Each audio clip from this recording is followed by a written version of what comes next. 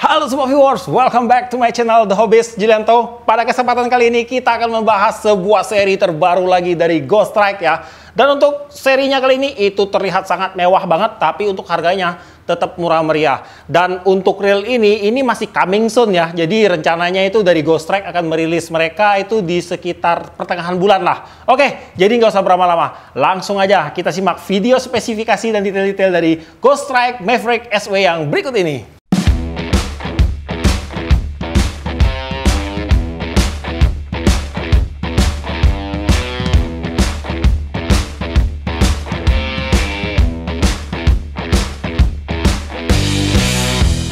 Perpaduan desain dan warna dari Ghost Strike Maverick SW membuat reel ini terkesan mewah dan sangat futuristik.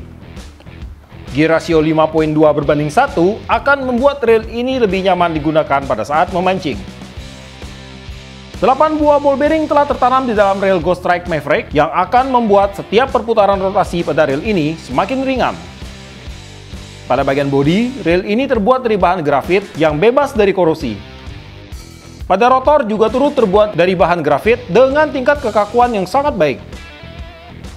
Pada handle, menggunakan bahan metal bertipe one piece dengan sistem penguncian screw-in handle dan pada bagian knob menggunakan bahan lapisan rubber. Spool Grow Strike Maverick SW menggunakan bahan metal dengan tipe shallow spool dan pada bagian bibir spool telah membentuk V-shape. Pada bagian tutup spool telah dilengkapi dengan shield water resistant dan pada bagian drag system terdiri dari dua buah drag washer berbahan karbon dan dua buah key washer berbahan metal dan untuk max drag mencapai 8 kg. Di bagian drag clicker telah menggunakan tipe SW atau Advanced Drag Clicker. Oke kawan-kawan, jadi sekarang di studio udah ada satu buah reel Ghost Strike Maverick SW. Dalam pembelian reel ini kita mendapatkan satu buah skema reelnya Kemudian ada juga satu buah pots dan yang pastinya kita mendapatkan satu buah reel Ghost Strike Maverick SW. Dan dalam pembeliannya ini kita ditawarkan dengan 6 pilihan ukuran ya. Mulai dari 800, 1000, 2000, 3000, 4000 dan juga 6000. Tetapi nanti yang akan di launching duluan itu yang ukuran 1000, 2000 dan 3000. Untuk ukuran 800, 4000 dan 6000-nya itu akan coming soon, akan nyusul lagi ya. Nah, uh, pertama-tama kita akan membahas desain dari rail ini. Untuk desain dari rail ini saya bilang ini ter menipu banget sih. Soalnya waktu saya lihat di toko online-nya itu desainnya itu ah biasa-biasa aja lah ya. Tetapi pada waktu udah di tangan dan kita lihat secara langsung, untuk desain rail ini bener-bener gimana ya? Ini terlihat sangat mewah banget. Dan untuk rail ini terkesan uh, nggak kelihatan lah kayak reel sebuah reel 300-an. Ini mirip dengan reel yang udah branded banget ya. Pokoknya ini keren banget lah kalau kita lihat secara langsung. Nah, sekarang kita akan membahas satu persatu eh, material-material uh, yang menyusun bagian luar reel ini ya. Yang pertama-tama itu ada pada bagian body rail. Untuk body railnya ini dia menggunakan bahan grafit dan untuk desain rail armnya ini dia menggunakan model solid. Jadi di sini nggak ada bolongan dan di sini otomatis akan menambah kekuatan dari rail arm rail ini sendiri. Dan untuk uh, tingkat kekakuannya ini sangat baik ya untuk di sebuah bahan grafit karena untuk bodinya ini kalau dalam keadaan terpasang dan kita bejek-bejek ini enggak ada terjadi uh, pergerakan yang signifikan kayak reel dengan bahan grafit seperti biasanya. Kemudian pada rotor ini juga terbuat dari bahan grafit dan untuk tingkat kekakuan rotornya ini udah sangat bagus banget. Di sini kalau saya tekan-tekan itu uh, minim sekali terjadi uh, pergerakannya karena di sini mungkin karena desain rotornya ini pada bagian bawahnya ini membentuk siku. Jadi untuk bodinya ini lebih kuat karena ada topangan yang lebih kuat ya pada bagian siku rotornya ini. Kemudian untuk rotornya ini juga udah no jeda ya. Jadi di sini membuktikan bahwa one way pada rail ini udah bekerja dengan sangat baik sekali dan kemudian yang keren dari rail ini adalah udah tidak menggunakan switch one way lagi. Jadi untuk one way-nya itu udah instan. Karena untuk sebuah reel yang memiliki switch one way itu akan memiliki lubang pada bagian bodinya yang rentan juga untuk masuk air ke dalam bagian one way-nya ya. Kemudian pada bagian handle udah menggunakan bahan metal dan untuk tipe handle-nya ini dia menggunakan handle dengan tipe one piece.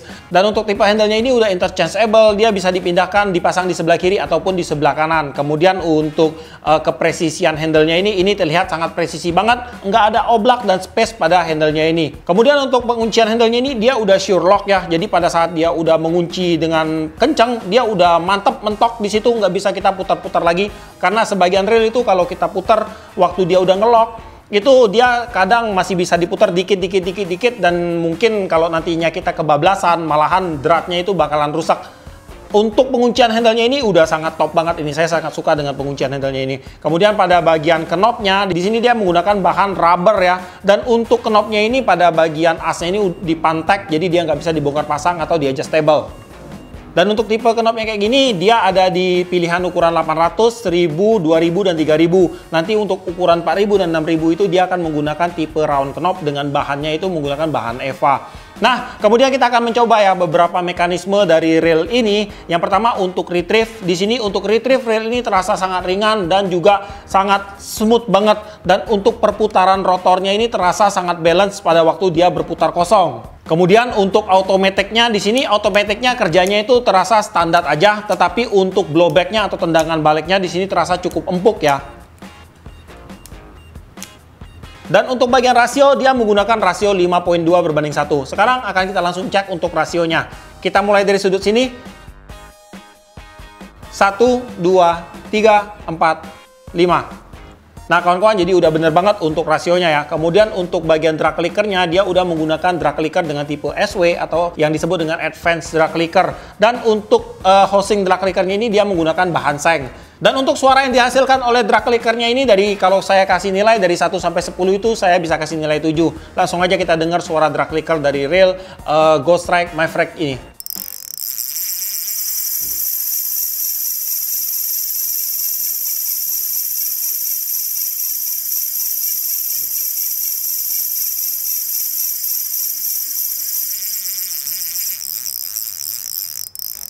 Nah, untuk bagian line rollernya udah dilengkapi dengan satu buah ball bearing dan juga pada bagian sebaliknya itu ada satu buah busing.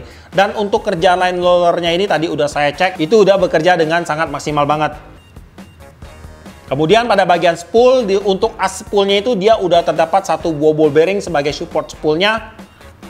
Dan untuk tipe spool yang digunakan pada reel ini menggunakan tipe shallow ya, karena di sini terlihat banget untuk spoolnya ini terlihat dangkal. Jadi untuk spool tipe kayak gini itu sangat cocok jika kita gunakan untuk bermain casting ataupun bermain di kolaman.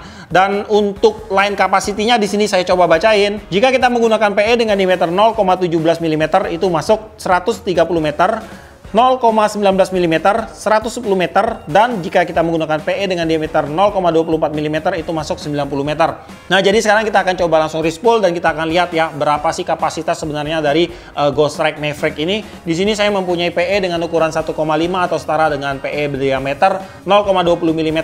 Di sini saya berhasil memasukkan PE sebanyak 110 meter, PE dengan diameter 0,20 mm atau setara dengan PE 1,5 dan untuk hasil lilitan spoolnya di sini terlihat uh, sangat rapi dan sangat rata, tidak ada penumpukan pada bagian atas ataupun pada bagian bawah spoolnya. Untuk berat total Reels Ghost Strike Maverick SW yaitu 226 gram. Dan untuk Rail ini walaupun harganya itu murah, dia udah dibekali dengan 5 titik shield water resistant ya. Misalnya pada bagian tutup spoolnya ini dia udah pakai shield, kemudian pada bagian spoolnya dia juga udah ada satu shield, kemudian pada nut rotornya juga ada shieldnya, dan kemudian pada bagian handle dan juga pada bagian AC capnya juga udah dilengkapi dengan shield. Jadi walaupun rail ini dibanderol di harga yang murah, untuk tahan tire mereka itu termasuk sangat oke okay banget, sangat mantap banget. Nah, untuk rail ini ada satu hal sih yang bikin saya penasaran ya. Karena tadi pada waktu saya buka itu saya lihat untuk as drive gearnya itu menggunakan bahan kuningan atau bahan brass saya nggak tahu untuk rail ini pada bagian drive gearnya dia menggunakan bahan apa. Nanti akan segera kita lakukan pembongkaran dan kita akan lihat apa sih komponen yang menyusun dari rail Ghost Strike Maverick ini. Nah, untuk rail ini ada banyak banget sih nilai plus yang ditawarkan kepada kita ya untuk pembeliannya ini ya. Yang pertama itu misalnya uh, untuk rail ini dia udah tidak menggunakan switch one way lagi. Jadi otomatis ini akan menambah rail ini kedep uh, dari cipratan-cipratan air lah ya. Kemudian yang kedua untuk handle-nya ini dia udah menggunakan tipe one piece.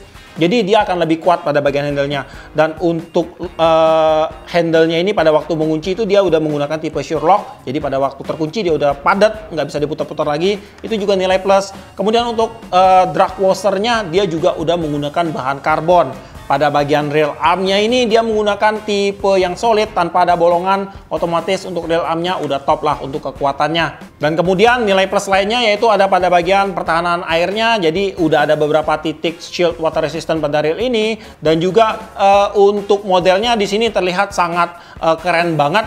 Untuk modelnya ini branded banget.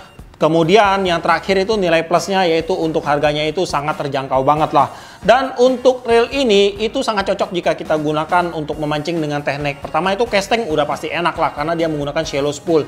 Kemudian untuk galatama, eh, kolaman, harian itu sangat oke okay banget lah. Dan untuk PE yang cocok di sini kita bisa masukkan PE 0,8 hingga ke PE 2 itu saya rasa masih sangat cocok banget dan kemudian untuk spot Salt water dan fresh water itu udah bisa kita gunakan semua. Dan untuk harga, reel ini dibanderol di harga Rp299.000.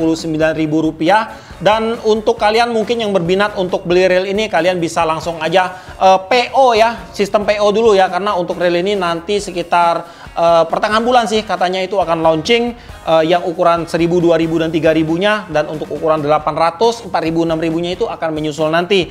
Dan untuk linknya kalian bisa cek aja langsung ke IG-nya Ghost Strike versus Fishing ataupun kalian bisa cek nanti langsung ke deskripsi saya ya. Di situ udah ada linknya nanti tinggal kalian klik aja. Oke kawan-kawan, jadi sampai di sini dulu untuk videonya kali ini. Semoga video ini bisa bermanfaat buat kalian semua. Uh, buat kamu yang suka sama video ini, jangan lupa kasih like, komen, dan bantu share-share video ini. Dan jika kalian bersedia, silahkan di subscribe. Biar kalian gak ketinggalan video terbaru dari saya. Dan tetap jangan lupa salam satu hobi dalam lensa.